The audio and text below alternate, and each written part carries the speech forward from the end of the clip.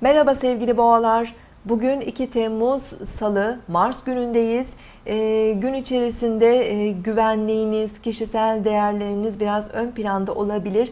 Ancak e, Boğa burcundaki Ay, e, Satürn arasındaki karşıtlık, e, Aslan burcundaki Venüs arasındaki kare e, bu güvenliği sağlamakta biraz zorlanabileceğinizi gösteriyor. Kendinizi e, biraz yetersiz ve güvensiz hissedebilirsiniz huzuru bulmakta zorlanabileceğiniz bir gün.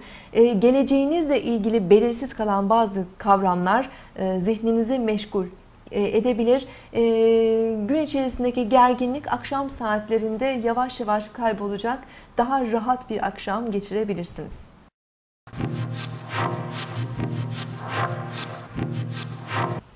Burcunuzu izlediniz. Bugün 2 Temmuz Salı Mars günündeyiz. Ay gün boyu Boğa burcunda ilerleyecek ve güne daha kararlı, ağır ve sabırlı enerjiler veriyor. E, bugün sahip olduğumuz değerler, maddi değerlerimiz, sevdiklerimiz, güvenliğimiz biraz daha ön planda olabilir. E, gün içerisinde gökyüzünde biraz gergin açılar var. O nedenle temkinli ve dikkatli olmalıyız. E, Güneş Plüton karşıtlığı söz konusu. Bu güç çekişmelerine, zorlanmalara neden olabilir. Özellikle otorite kavramlarıyla aramızda e, bazı çekişmeler, mücadeleler olabilir. Üzerimizde baskı hissedebiliriz.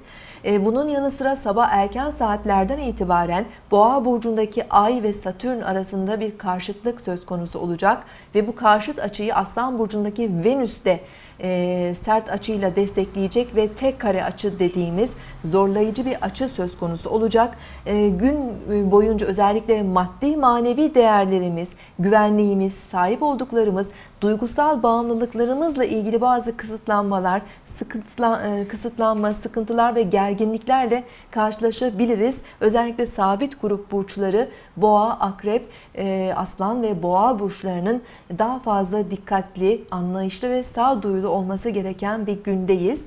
Ee, akşam saatlerinde özellikle Ay, Güneş ve Plüton arasında olumlu açılar devreye gelecek. Ee, bu nedenle gerginlikler biraz azalabilir, ee, etkiler daha olumlu olabilir.